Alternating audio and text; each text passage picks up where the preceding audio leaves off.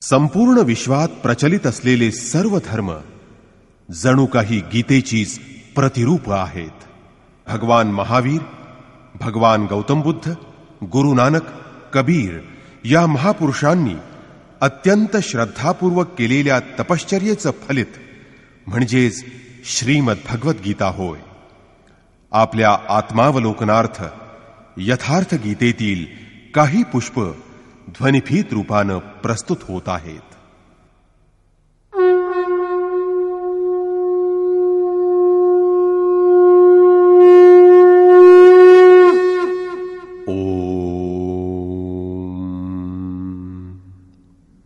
श्री परमात्मने नमः.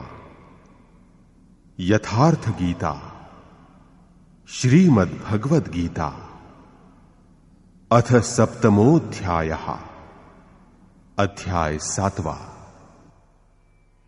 मागील सर्व अध्यायांमध्ये गीतेमधील मुख्य प्रश्नांबद्दलची चर्चा पूर्ण झाली आहे. निष्काम कर्मयोग ज्ञानयोग कर्म आणि यज्ञाचं स्वरूप आणि त्याचे क्रियाविधी योगाचं वास्तव स्वरूप आणि त्याचा होणारा परिणाम तसंच अवतार वर्णसंकर सनातन अशा आत्मस्थित महापुरुषानं लोकहितासाठी कर्म करावं यावर भर युद्ध इत्यादी विषयांवर सविस्तर चर्चा केली गेली आहे. पुढील अध्यायांमध्ये योगेश्वर श्रीकृष्णांनी या विषयांच्या संदर्भात अनेक पूरक असे प्रश्न चर्चेला घेतले आहेत. त्या प्रश्नांची समाधानकारक उत्तरं आराधनेला सहाय्यक होतील. सहाव्या अध्यायातील शेवटच्या श्लोकात योगेश्वर श्रीकृष्णांनी सांगितलं आहे की जो योगी मदगतेनांतरात्मना माझ्या ठिकाणी अंतःकरण ठेवून श्रद्धेनं मला निरंतर भजतो. तो योगी मला सर्वात श्रेष्ठ वाटतो. श्रीकृष्णांनी या श्लोकात स्वतःच एका प्रश्नाचं बीजारोपण केलं आहे. परमेश्वराच्या ठिकाणी उत्तम प्रकारे अंतःकरण ठेवणं म्हणजे काय? हाच तो प्रश्न. अनेक योगी परमात्म्याला प्राप्त तर करून घेतात पण तरीही त्यांना काहीतरी खटकत राहतं. कशाची तरी उणीव भासत राहते. यत्किंचितही उणीव राहणार नाही अशी उत्तम अवस्था कधी प्राप्त होईल परमेश्वराची संपूर्ण ओळख केव्हा होईल म्हणजेच त्याचं संपूर्ण ज्ञान कधी प्राप्त होईल ते कधी प्राप्त होतं? यावर योगेश्वर श्रीकृष्ण म्हणतात श्री भगवान वाच.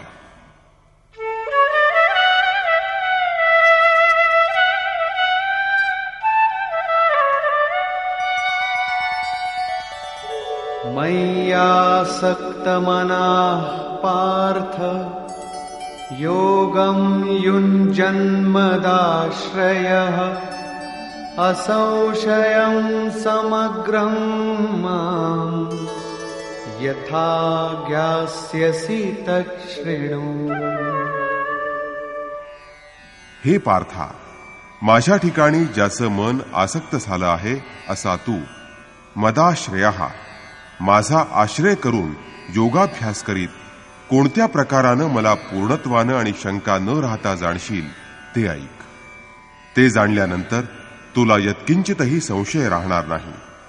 यानंतर श्रीकृष्णांनी त्या महान परमात्म्याची महातत्वाची संपूर्ण ओळख अर्थात ज्ञान करून दिलं आहे.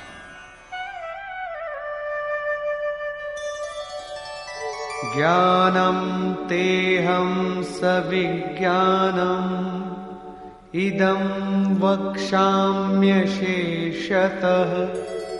यज्ज्ञात्वा नेह भूयोऽन्यत् ज्ञातव्यमवशिष्यते।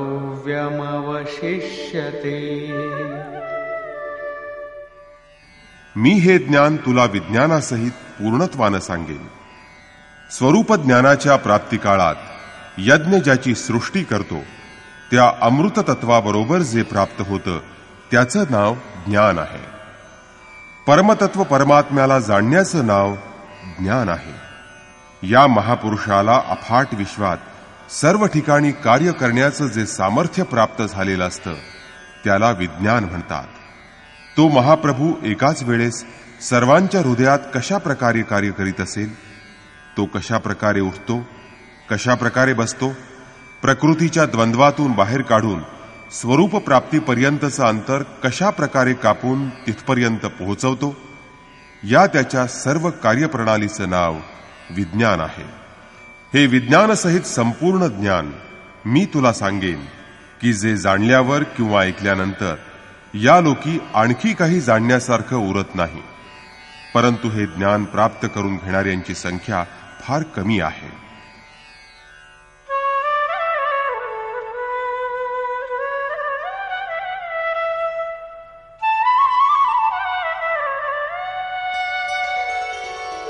मनुष्याणां सहस्रेषु कश्चिद्यतति सिद्धये यततामपि सिद्धानाम्। कश्चिन्मां वेत्ति तत्वतः सहस्रावधी मनुष्यांमध्ये एखादाच मनुष्य माझ्या प्राप्तीसाठी प्रयत्न करीत असतो आणि त्या प्रयत्न करणाऱ्यांमध्ये एखादाच योगी तत्वासहित माझ्या स्वरूपाला जाणतो. परंतु हे तत्व कुठं आहे? एका ठिकाणी ते पिंडरूपानं आहे की सर्वत्र व्यापून राहिलेलं आहे? यावर श्रीकृष्ण म्हणतात भूमिरापो नलो वायुः खं मनो बुद्धिरेव च अहङ्कार इतीयं मे भिन्ना प्रकृतिरष्टधा। हे अर्जुना पृथ्वी आप तेज वायू आकाश मन बुद्धी आणि अहंकार अशा आठ प्रकारांनी माझी प्रकृती विभागलेली आहे. हीच अष्टधा मूळ प्रकृती आहे. अपरेयमितस्त्वन्या प्रकृतिं विद्धि मे परा जीवभूतां महाबाहो। ययेदन्धार्यते जगत्। हे अर्जुना इयम म्हणजे ही आठ प्रकारची माझी अपरा म्हणजे जड प्रकृती आहे. महाबाहू अर्जुना जिच्या योगानं हे सर्व जग धारण केलं गेलं आहे अशी माझी हिच्याहून दुसरी जीवभूता परा प्रकृती म्हणजेच चेतना प्रकृती आहे असं समज. तोच जीवात्मा आहे. हे आठ प्रकार त्याच्या ठिकाणी असतात आणि म्हणून तोही प्रकृतीतच आहे.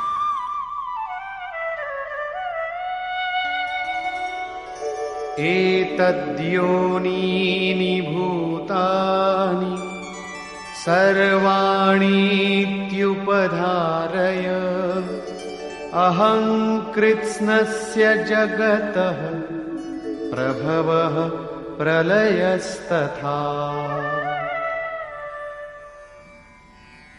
अर्जुना सर्व प्राणीमात्र एतद्योनिनी या महाप्रकृतींपासून म्हणजेच माझ्या परा आणि अपरा या दोन प्रकृतींपासून उत्पन्न झालेले आहेत हे तू जाण.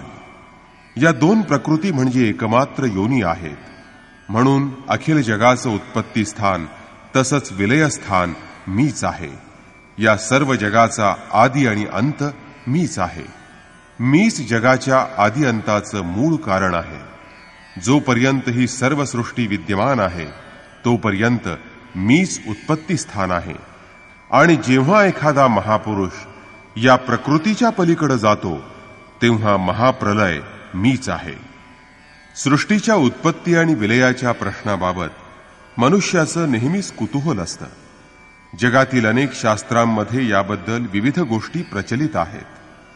कुणाच्या मते प्रलयाच्या वेळी सर्व जग त्यात बुडून जातं?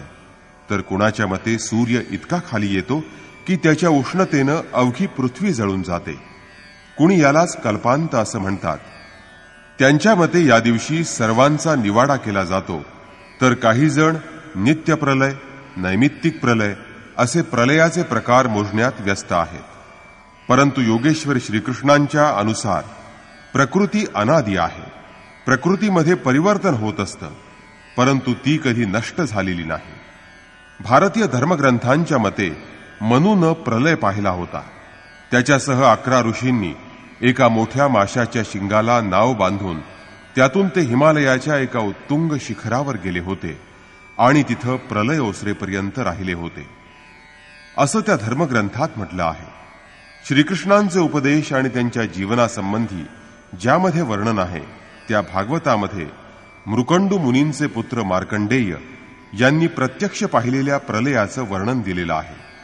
ते हिमालयाच्या उत्तरेस पुष्पभद्रा नदीच्या किनारी राहत होते.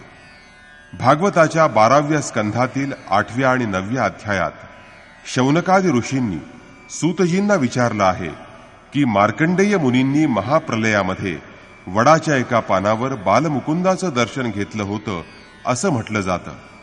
पण ते तर आमच्याच वंशातील होते आणि आमच्यापेक्षा काही वर्षच ते आधी होऊन गेलेले आहेत.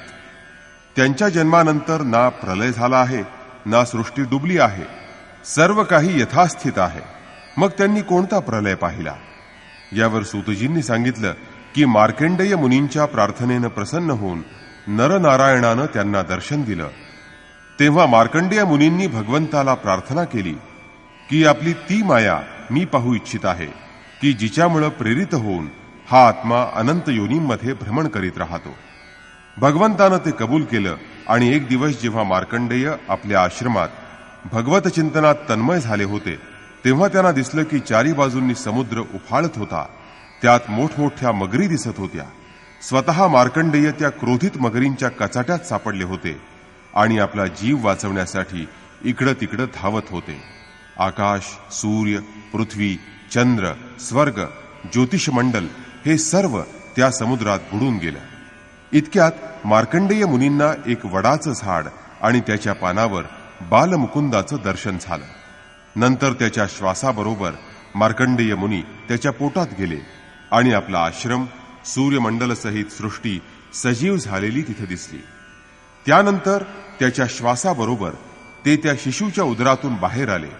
त्यांनी जेव्हा डोळे उघडले तेव्हा मार्कंडेय मुनींनी स्वतःला आश्रमात आसनावर बसलेल्या अवस्थेत पाहिलं. याचा अर्थ अनेक वर्षांच्या तपस्येनंतर मार्कंडेय मुनींनी ते ईश्वरीय दृश्य आपल्या हृदयात पाहिलं त्याचा अनुभव घेतला. त्यावेळी बाह्य जग मात्र तसंच्या तसं यथास्थित होतं. तेव्हा प्रलय म्हणजे योग्याच्या हृदयात ईश्वराशी मिलन घडवून आणणारी एक दिव्य अनुभूती आहे. आराधनेच्या पूर्ती काळात योग्याच्या हृदयात संसाराचा प्रवाह नाहीसा होतो आणि अव्यक्त परमात्मा तिथं प्रकट होतो. हाच प्रलय होय. म्हणजे प्रलय हा बाहेर असत नाही तर शरीराच्या आत वसत असणाऱ्या हृदयात तो असतो. हा प्रलय म्हणजे अद्वैताची अनिर्वचनीय स्थिती आहे. ती एक क्रियाशील अनुभूती आहे. केवळ बुद्धीनं निर्णय घेणारे भ्रम निर्माण करतात. मग तिथं आम्ही असो की तुम्ही तिथं भ्रमच निर्माण होतो. हीच गोष्ट पुढं स्पष्ट करताना श्रीकृष्ण म्हणतात.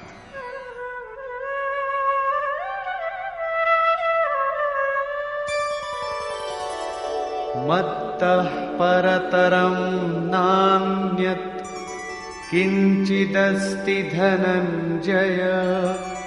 मयि सर्वमिदं प्रोतम् सूत्रे मणिगणा इव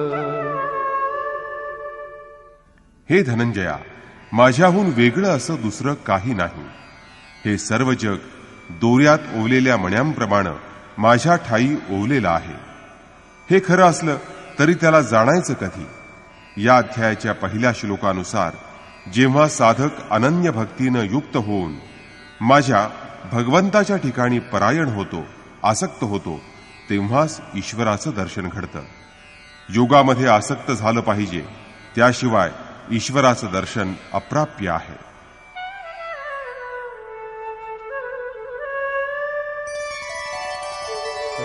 रसोऽहमप्सु कौन्तेय प्रभास्मि शशिसूर्ययोः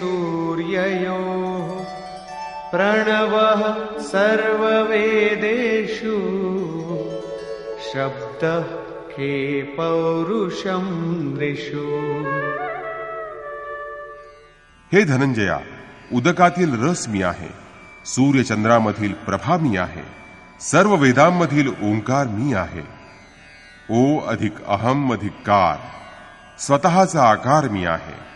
आकाशातील शब्द आणि पुरुषामधील पौरुष पराक्रम मीच आहे. पुण्यो गंध पृथिव्यांच तेजश्चास्मि विभावसौ। जीवनं सर्वभूतेषु तपश्चास्मि तपस्विषु। पृथ्वीतील पवित्र गंध आणि अग्नीमधील तेज मी आहे. सर्व प्राणीमात्रांचं जीवन आणि तपस्व्यांचं तप मी आहे. बीजं मां सर्वभूतानां विद्धि पार्थ सनातनम्। बुद्धिर्बुद्धिमतामस्मि तेजस्तेजस्विनामहम्। हे पार्था सर्व प्राणीमात्रांचं शाश्वत आणि अनादि बीजकारण मीच आहे असं जाण. बुद्धिमंतांची बुद्धी मी आहे आणि तेजस्वी लोकांचं तेजही मीच आहे. याच क्रमात ते पुढं सांगत आहेत. बलं बलवतां चाहं कामरागविवर्जितम् धर्माविरुद्धो भूतेषु कामोऽस्मि भरतर्षभ। काम आणि राग अर्थात आसक्ती या दोहोंनी विरहित असं बलवंताचं बल मी आहे. या जगात अनेक जण बलवान बनत असतात. कोणी दंड बैठका काढतात कोणी परमाणू जमवतात परंतु श्रीकृष्ण म्हणतात काम आणि राग यांनी विरहित असलेलं त्यांच्या पलीकडे असणारं बल मी आहे आणि तेच वास्तव बल आहे. सर्व प्राणीमात्रांच्या ठिकाणी धर्माला अनुसरून असणारा काम मी आहे. परब्रह्म परमात्माच एकमेव धर्म आहे. त्यानं अखिल विश्व धारण केलेला आहे. तोच शाश्वत आत्मा आहे. तोच धर्म आहे. त्या धर्माच्या विरुद्ध न जाणारी जी इच्छा ती मी आहे. तोच धर्म आहे. पुढं श्रीकृष्ण अर्जुनाला म्हणाले की हे अर्जुना माझ्या प्राप्तीची तू इच्छा कर. एरवी साधकाला सर्व कामना वर्ज्य आहेत. परंतु परमात्म्याला प्राप्त करून घेण्याची इच्छा अत्यंत आवश्यक आहे. अन्यथा तुम्ही कर्मयोगामध्ये प्रवृत्तच होणार नाही. ही इच्छा देखील माझीच देणगी आहे. ये चैव सात्विका भावा राजसास्तामसाश्च ये मत्त एवेति तान् विद्धि। न त्वहं तेषु ते मयि। तसंच जो सत्वगुणापासून उत्पन्न झालेला भाव आहे तसंच रजोगुण आणि तमोगुणापासून उत्पन्न झालेला भाव आहे ते सर्व भाव माझ्यापासून उत्पन्न झाले आहेत असं तू जाण. परंतु मी त्यांच्यात किंवा ते माझ्यात नाही कारण ना मी त्यांच्यामध्ये गुंतलो गेलो आहे ना ते भाव माझ्या ठिकाणी. ते माझ्या ठिकाणी प्रवेश करू शकत नाहीत कारण मला कर्माची स्पृहा किंवा इच्छा कधीच नसते आणि ते भावही माझ्या ठिकाणी प्रवेश करू शकत नाहीत. मी निर्लेप आहे. मला त्यांच्याकडून काहीही प्राप्त करावयाचं नाही आणि म्हणून ते माझ्या ठिकाणी प्रवेश करू शकत नाहीत. ज्याप्रमाणे शरीरात आत्मा असेल तरच शरीराला तहान आणि भूक लागत असते परंतु आत्म्याला अन्न अथवा जलाचं काहीच प्रयोजन नसतं. त्याच प्रकारे प्रकृती परमात्म्याच्या उपस्थितीतच आपलं कार्य करू शकते. परंतु परमात्मा तिच्या गुणांपासून कार्यापासून अलिप्त असतो. त्रिभिर्गुणमयैर्भावैः एभिः सर्वमिदं जगत्। मोहितं नाभिजानाति मामेभ्यः परमव्ययम् सत्व रज आणि तम या त्रिगुणात्मक भावांनी मायेनं या जगाला भुरळ पाडली आहे. त्यामुळं या तीन गुणांच्या पलीकडे असणारा निर्गुण आणि अविनाशी असा जो मी त्याला लोक जाणत नाहीत. मी या तीन गुणांच्या पलीकडे असणारा आहे. त्यामुळं या गुणांपैकी अंशमात्रही गुण शिल्लक असेल वसत असेल तर तो साधक मला जाणत नाही. त्याला माझ्या परत येण्यासाठी अजून मार्ग आक्रमावा लागणार आहे. तो अजून परमात्म मार्गावरील पथिका आहे. दैवी ह्येषा गुणमयी मम माया दुरत्यया। मामेव ये प्रपद्यन्ते मायामेतान्तरन्ति ते। ही माझी त्रिगुणातीत अद्भुत अशी माया पार करणं अत्यंत दुस्तर आहे अत्यंत कठीण आहे. परंतु जे साधक मला निरंतर भजतात मला शरण येतात तेच या मायेला पार करू शकतात. तेच या मायेला तरुण जातात. ही माया दैवी असली तरी अगरबत्ती लावून तिची पूजा करत बसू नका. तिला पार करण्याचा प्रयत्न करा.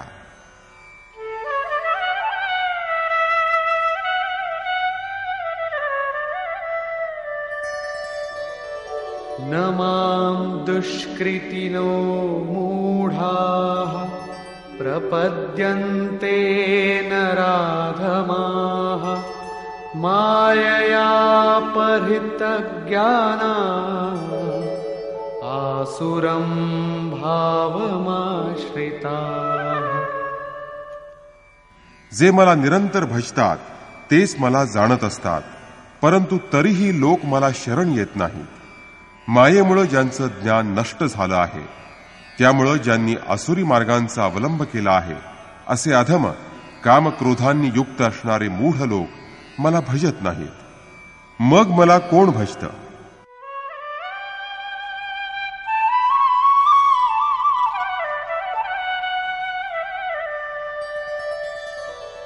चतुर्विधा भजन्ते मां। जनाः सुकृतिनोऽर्जुन। आर्तो जिज्ञासुरर्थार्थी। ज्ञानी च भरतर्षभ। हे भरतश्रेष्ठ अर्जुना सुकृतीत नियत कर्म करणारे ज्यामुळे श्रेयाची प्राप्ती होते अर्थार्थी द्रव्याची इच्छा करणारे आर्तहा दुःखापासून मुक्त होण्याची इच्छा करणारे जिज्ञासू म्हणजे परमेश्वराला जाणण्याची इच्छा करणारे आणि ज्ञानी म्हणजे ज्यांना ब्रह्मज्ञान प्राप्त झाले आहे. असे चार प्रकारचे भक्तजन मला भजतात. अर्थ म्हणजे द्रव्य ही अशी वस्तू आहे की ज्यामुळं आमच्या शरीराच्या किंवा तत्संबंधी गोष्टींची अर्थात गरजांची पूर्ती होत असते. त्यामुळं द्रव्याची इच्छा प्रथम ईश्वराकडूनच पूर्ण होत असते. श्रीकृष्ण म्हणतात की मीच ही इच्छा पूर्ण करतो. परंतु एवढ्याच त्याचा वास्तविक अर्थ नाही. आत्मिक संपत्ती ही स्थिर संपत्ती आहे हा त्याचा अर्थ आहे. सांसारिक अर्थाची पूर्ती करीत करीत भगवंत भक्ताला आत्मिक संपत्तीकडे आकर्षित करतात. कारण त्यांना माहीत आहे की केवळ या बाह्य संपत्तीनं माझा भक्त सुखी होणार नाही. आणि म्हणून ते त्याचं मन आत्मिक संपत्तीकडे लावून देतात. आपल्या भक्ताच्या सुखासाठी अशा प्रकारे भगवंत त्याला आत्मिक संपत्तीही देतात. लोक लाहू परलोक निबाहू या लोकी लाभ आणि परलोकात निर्वाह या दोन्ही गोष्टी भगवंताच्या आहेत. भगवंत आपल्या भक्ताला कधीही रिक्त ठेवित नाहीत. आर्त म्हणजे जे दुःखी आहेत ते. ते दुःखापासून मुक्ती मिळवण्यासाठी भगवंताला भजतातच. तिसरा जिज्ञासू माझं स्वरूप समग्रपणे जाणण्याची इच्छा करणारा तो जिज्ञासू मला भजतो. आणि ज्यांची साधना परिपक्व झालेली आहे ज्यांनी भगवंताचं प्रत्यक्ष दर्शन घेऊन आत्मज्ञान प्राप्त केलं आहे. ते ज्ञानीही मला भजतात. अशा प्रकारे चार प्रकारचे लोक मला भजत असतात. त्यामध्ये ज्ञानी श्रेष्ठ आहे. अर्थात ज्ञानी पण माझा भक्तच असतो. तेषां ज्ञानी नित्ययुक्त एक एकभक्तिर्विशिष्यते। प्रियो हि ज्ञानिनोत्यर्थम्। अहं स च मम प्रियः। अरे अर्जुना त्या चार भक्तांमध्ये जो नित्य माझ्यामध्ये स्थित असतो जो मद्रूप होऊन माझी अनन्य भक्ती करतो तो ज्ञानी अत्यंत श्रेष्ठ आहे. कारण साक्षात्कारामुळं माझं स्वरूप तो जाणत असल्यानं त्या ज्ञानी भक्ताला मी अत्यंत प्रिय असतो आणि मलाही तो अत्यंत प्रिय असतो. तो ज्ञानी म्हणजे माझंच स्वरूप आहे.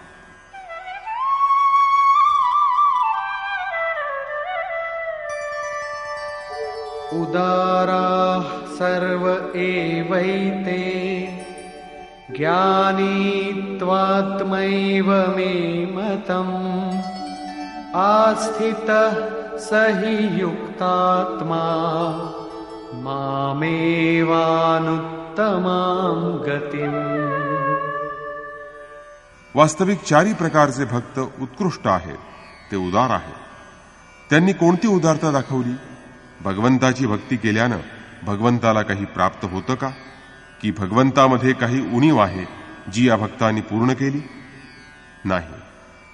उदारचा असा अर्थ नाही तर आपल्या आत्म्याला अधोगतीला जाऊ न देता त्याचा विकास करण्यात त्याचा उद्धार करण्यात जे अग्रेसर असतात ते. या अर्थानं इथं त्या चार भक्तांना उदार असं म्हटलं आहे. परंतु ज्ञानी तर केवळ माझंच स्वरूप आहेत.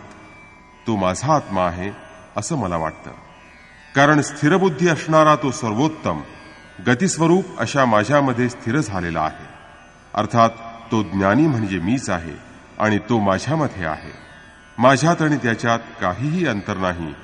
यावरच भार देत ते पुढे म्हणतात.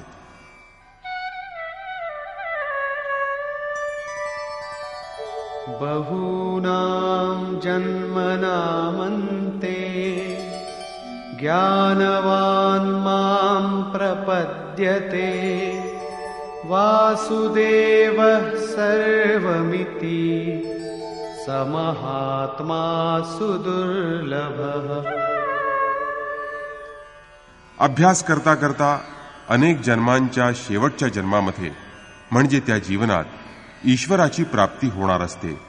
त्या जन्मात ईश्वराचा साक्षात्कार झाल्यानंतर हे सर्व विश्व वासुदेव होय असं ज्ञान प्राप्त होऊन तो ज्ञानी माझी उपासना करतो. तो मला येऊन मिळतो. तथापि असं जाणणारा महात्मा दुर्लभ आहे. हा ज्ञानी वासुदेवाचा फोटो करून किंवा मूर्ती बनवून तिची उपासना करीत नाही तर तो वासुदेवाला स्वतःच्या हृदयात पाहत असतो आणि त्याला भजत असतो. अशा या ज्ञानी महात्म्याला श्रीकृष्ण तत्वदर्शी असंही म्हणतात. अशा महापुरुषांमुळेच समाजाचं कल्याण होतं. अशा प्रकारचे तत्वदर्शी महापुरुष अत्यंत दुर्लभ असतात असं श्रीकृष्ण म्हणतात. जेव्हा श्रेय आणि प्रिय म्हणजे मुक्ती आणि भोग दोन्ही परमेश्वराला मिळतात तेव्हा सर्वांनी खरोखर भगवंताचं भजन केलं पाहिजे त्याची उपासना केली पाहिजे. परंतु लोक तसं करीत नाहीत. असं का? श्रीकृष्ण म्हणतात कामैस्तैस्तैर्हितज्ञानाः प्रपद्यन्तेऽन्यदेवताः। तन्तन्नियममास्थाय प्रकृत्या नियता स्वया।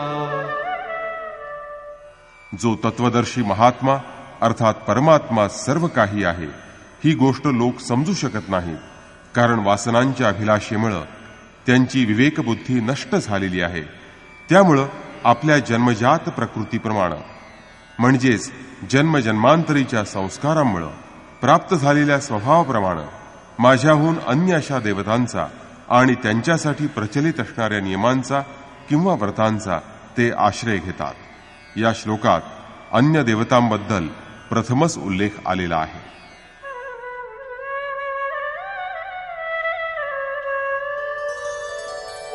यो यो याम याम तनुम भक्तः श्रद्धयार्चितुमिच्छति।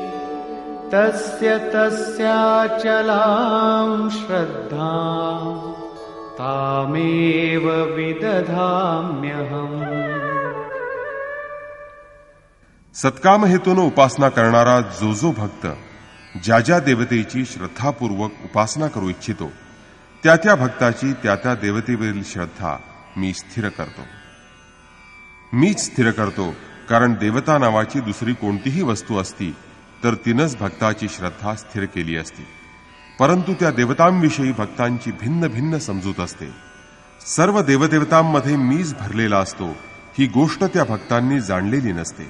सतया श्रद्धया युक्तः तस्याराधनमीहते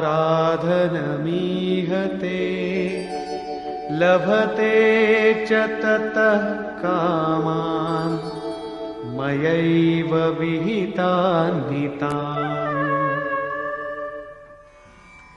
तो पुरुष श्रद्धेनं युक्त होऊन त्या देवतेची उपासना करतो आणि त्या देवतेच्या माध्यमातून मग मीच निर्माण केलेली फळं त्याला प्राप्त होतात. ते इच्छित फळ त्यांना कोण देतं? मीच देत असतो. आणि ते त्यांच्या श्रद्धेचं फळ असतं. ते कोणत्याही देवतेनं दिलेली भेट किंवा फळ नसतं. अर्थात तो कोणत्याही देवतेला भजून इच्छिलेलं फळ तर प्राप्त करून घेतो. मग त्यात वाईट काय आहे? यावर श्रीकृष्ण म्हणतात अंतवत्तु फलम तेषाम् तद्भवत्यल्पमेधसाम् देवान् देवयजो यान्ति मद्भक्ता यान्ति मामपि। परंतु त्या अल्पबुद्धी असणाऱ्या लोकांना मिळणारं फळ हे अल्पकाळ टिकणारं म्हणजे नाशवंत असतं. आज ते फळ आहे पण ते भोगता भोगता नष्ट होतं म्हणून ते नाशवंत आहे. जे लोक देवतांची उपासना करतात त्या देवतांप्रत पोहोचतात. तथापि या देवताही नाशवंत असतात. अर्जुन या देवतांसह यावन मात्र जग परिवर्तनशील आणि मर्त्य आहे. तथापि परमतत्व मात्र शाश्वत तत्व आहे. जे भक्त मला भजतात ते मजप्रत येतात म्हणजेच परमतत्व प्राप्त करतात जे अव्यक्त आहे नैष्टिकीम परमशांती ते प्राप्त करतात. तिसऱ्या अध्यायात योगेश्वर श्रीकृष्णांनी सांगितलं की या यज्ञद्वारा तुम्ही देवतांची म्हणजेच दैवी संपदेची उन्नती करा. जसजशी दैवी संपदेची उन्नती होईल तसतशी तुमचीही उन्नती होईल. क्रमशः उन्नती करत करत परमश्रेयाची प्राप्ती करून घ्या.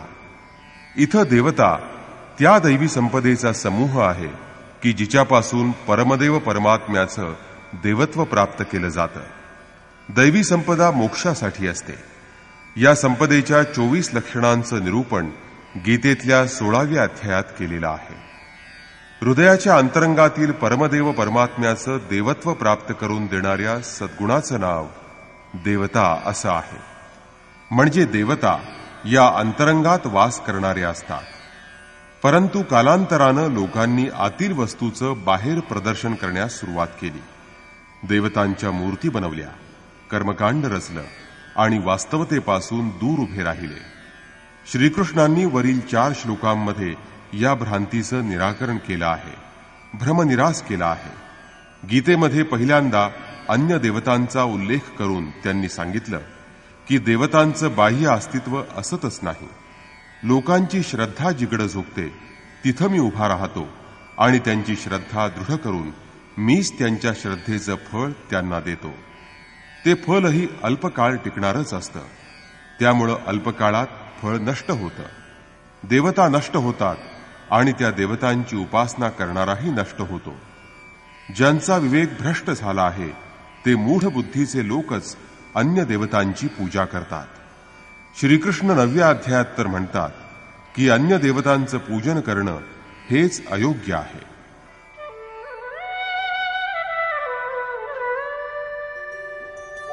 अव्यक्तं व्यक्तिमापन्नम् मन्यन्ते मामबुद्धयः परं भावमजानन्तो ममाव्ययमनुत्तमम्। देवतांचं बाह्य जगतात कुठं अस्तित्व नसताना देवतांच्या नावावर जे फळ मिळतं ते नाशवंत असतं.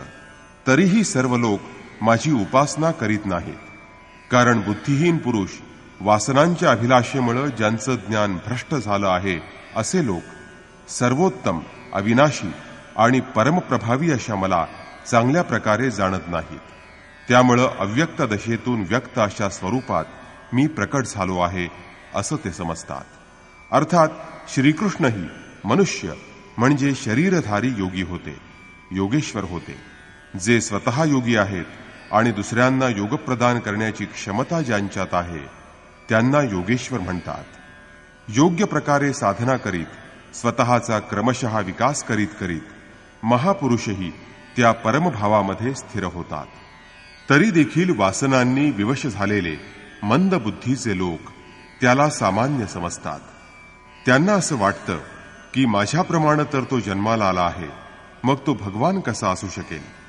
अर्थात त्या बिचाऱ्यांचा काय दोष? डोळे उघडताच शरीर तर दिसतं. परंतु ते महापुरुषांचं बाह्य स्वरूप पाहतात. ते त्याचं वास्तविक स्वरूप का पाहू शकत नाहीत? यावर योगेश्वर श्रीकृष्ण म्हणतात नाहं प्रकाश सर्वस्य योगमाया समावृतः मूढोऽयं नाभिजानाति। लोको मामजमव्ययम्। ज्या मायेमुळं परमात्मा झाकला गेला आहे ती माया सामान्य मनुष्याला पडद्याप्रमाणे असते. सामान्य मनुष्य तिलाच योग साधना समजून ती मध्ये प्रवृत्त होतो. यानंतर योगमायेचं म्हणजे योगक्रियेचंही एक आवरण असतं. योगाचं अनुष्ठान करत करत साधकाला जेव्हा योगारूढता प्राप्त होते तेव्हा मायेनं झाकल्या गेलेल्या त्या परमात्म्याला तो जाणतो. योगेश्वर म्हणतात की मी आपल्या योगमायेनं झाकलेलो आहे. ज्यांनी योगारूढता प्राप्त केली आहे असे योगीस मला यथार्थपणे पाहू शकतात. मी सर्वांना दिसू शकत नाही. आणि म्हणूनच अज्ञानी मनुष्य जन्मरहित ज्याला जन्म घ्यायचा नसतो अविनाशी ज्याचा नाश होत नाही अव्यक्त ज्याला पुन्हा व्यक्त व्हायचं नसतं असे मला जाणत नाही. अर्जुन सुद्धा श्रीकृष्णाला आपल्याप्रमाणे मनुष्यच समजत होता. परंतु जेव्हा श्रीकृष्णांनी त्याला दिव्य दृष्टी दिली तेव्हा तो प्रार्थना करू लागला. क्षमेची याचना करू लागला. करुणा भाकू लागला. खरोखर आमच्या डोळ्यावर मायेचं झापड असल्यानं मायेमुळं आम्ही आंधळे बनल्यामुळं अव्यक्त अशा महापुरुषाला आम्ही ओळखू शकत नाही. श्रीकृष्ण पुढं म्हणतात वेदाहं समतीतानि वर्तमानानि चार्जुन भविष्याणि च भूतानि। मां तु वेदन कश्चन। हे अर्जुना माग होऊन गेलेल्या सध्या असलेल्या आणि पुढं होणाऱ्या सर्व प्राण्यांना मी जाणतो. पण मला कोणी जाणत नाही. मला का जाणू शकत नाही?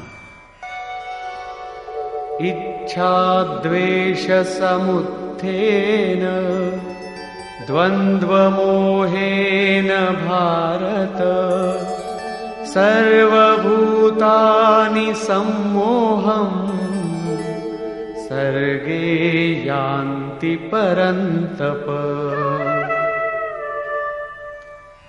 भरतवंशी अर्जुना इच्छा आणि द्वेषामुळं म्हणजेच रागद्वेषादी द्वंद्वरूपी मोहामुळं या जगातील सर्व प्राणी मोहवश होतात. त्यामुळं ते मला जाणत नाहीत. तर मग मला कोणीच जाणू शकणार नाही का? यावर योगेश्वर श्रीकृष्ण म्हणतात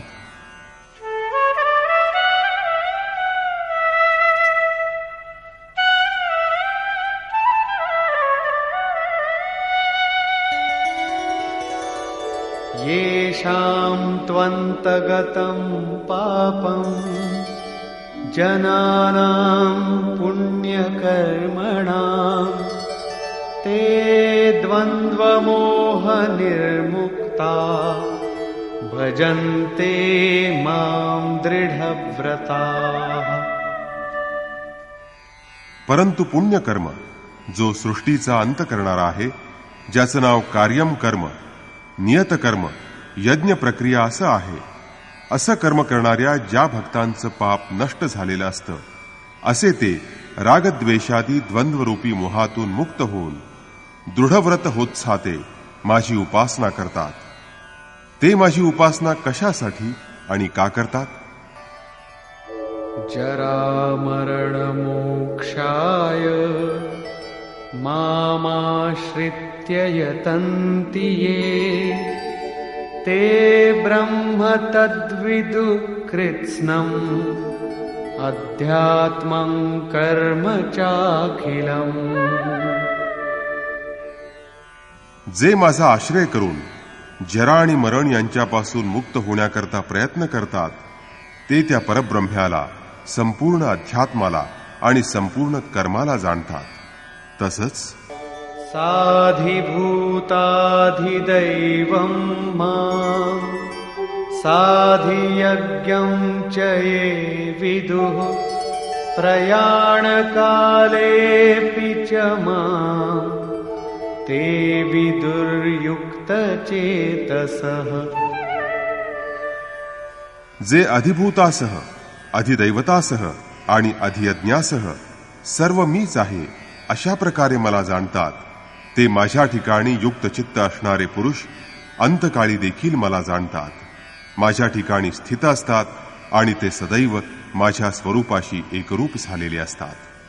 सव्वीसाव्या आणि सत्ताविसाव्या श्लोकात त्यांनी सांगितलं की मोहग्रस्त असल्यामुळं कुणी मला जाणत नाही परंतु त्या मोहातून मुक्त होण्यासाठी प्रयत्न करतात ते एक संपूर्ण ब्रह्म दोन संपूर्ण अध्यात्म तीन संपूर्ण कर्म चार संपूर्ण अधिभूत पाच संपूर्ण अधिदैव आणि सहा संपूर्ण अधियज्ञासह मला जाणतात. अर्थात या सर्वांचा परिणाम मी सद्गुरू आहे. तेव्हा असा योगारूढ झालेला योगीच माझं स्वरूप जाणतो. कुणीच जाणत नाही असं नाही. निष्कर्ष. या सातव्या अध्यायात योगेश्वर श्रीकृष्णानं सांगितलं की जो अनन्य भावानं माझ्या ठिकाणी स्वतःला समर्पित करून माझा आश्रय घेऊन जो योग साधना करतो तो समग्रपणे माझं स्वरूप जाणतो. हजारोंमध्ये कुणी एखादाच मला जाणण्याचा प्रयत्न करतो आणि प्रयत्न करणाऱ्यांमध्ये कुणी एखादाच मला जाणतो. तो मला पिंड रूपानं एकाच ठिकाणी नाही परंतु सर्वत्र व्यापून राहिलेला असा पाहतो. माझी ही जड प्रकृती आठ प्रकारात विभागली गेलेली आहे आणि तिच्या अंतरंगात माझी जीवनरूप चेतना प्रकृती आहे. या दोहोंच्या संयोगानं सर्व सृष्ट जगत निर्माण झालेलं आहे. तेज आणि पराक्रम माझ्यामुळेच आहेत. वासना आणि आसक्तीरहित बल आणि धर्माला अनुसरून असणारा काम मीच आहे. साधकाला सर्व कामना वर्ज असल्या तरी माझ्या प्राप्तीची तू कामना कर. मनात अशा प्रकारची इच्छा निर्माण होणं हा माझाच प्रसाद आहे असं समज. परमेश्वराला प्राप्त करून घेण्याची कामनाही धर्मानुकूल कामना आहे असं समज.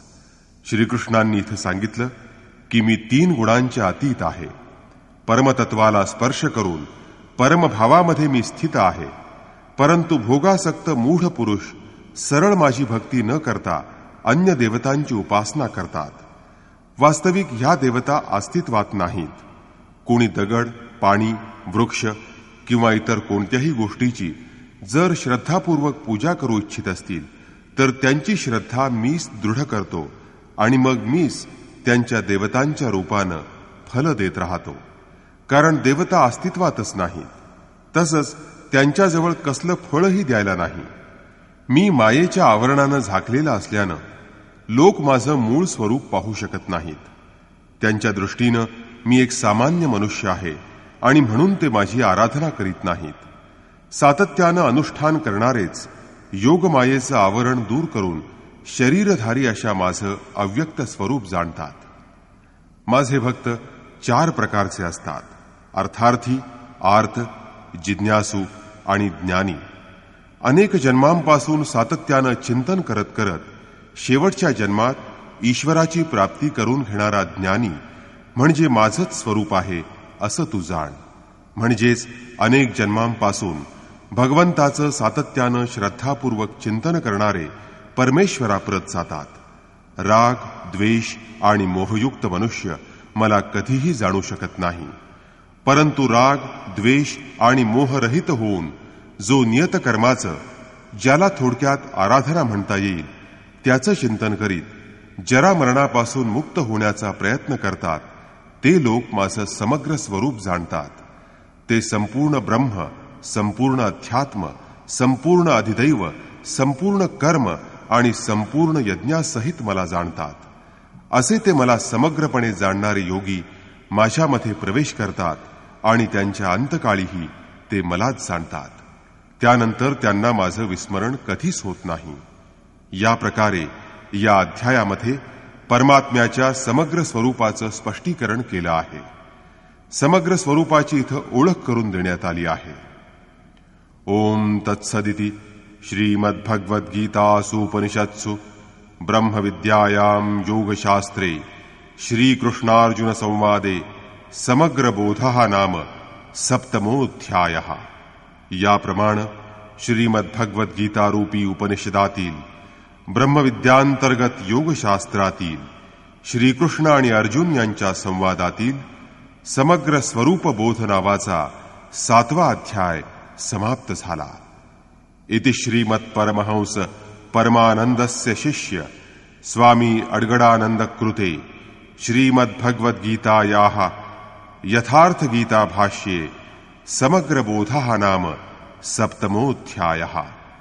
अशा प्रकारे श्रीमत परमहंस परमानंदजींचे शिष्य स्वामी अडगडानंदकृत श्रीमद भगवद्गीतेवरील भाष्य यथार्थ गीता यामधील समग्र स्वरूपबोध नावाचा सातवा अध्याय समाप्त झाला. हरिओम तत्सत.